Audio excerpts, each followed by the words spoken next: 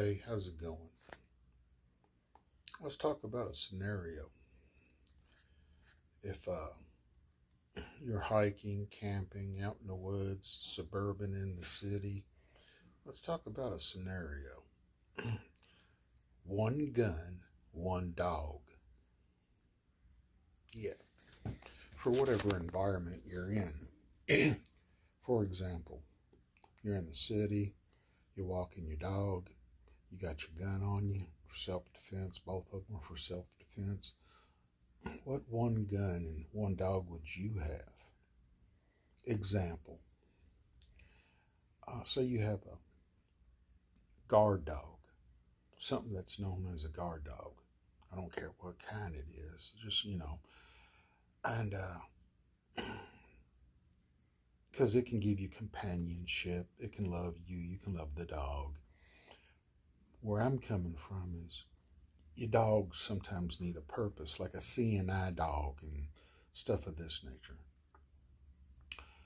What one dog would you use as a guard dog, whether it's in the city, hiking on a trail, out in the woods camping, for protection?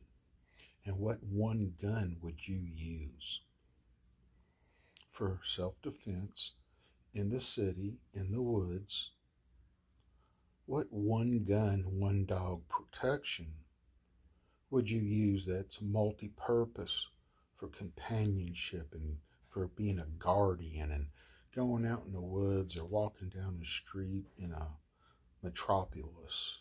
Say something like in Chicago or LA or New York. Now, let's not leave the other states out of this, of course. And it doesn't necessarily have to be the city. You could be out in the woods on a hike up in the hills somewhere. What one guard dog? Because let's face it, folks, certain dogs weren't cut out to be protectors, just companions. I like a dog with multi purposes. I like a gun that has multi purposes. Uh, let me give you two examples. One is of a dog and one is of a gun. Let's say you have a 10 millimeter. That could be used with the right grain of bullet as a self defense weapon for inner city. And let's say you're walking your Cane Corso. You have a Cane Corso. So right now it seems like 10 millimeter handguns and Cane Corsos are very popular right now.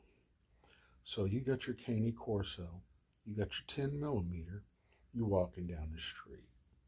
I think that you're very protected. Uh, if you're hiking on a trail with both of these, the gun and the dog, 10 millimeter and a Cane Corso, just as an example of a good protector, both of them, I think you're well protected. So you tell me you're hiking or inner city, what one gun and one dog combination would you prefer to be with that's multi purpose besides just companionship? Multi purpose as in inner city, suburbia, or out in the woods. What one dog, one gun fits that scenario. And as always, Jesus Christ saves.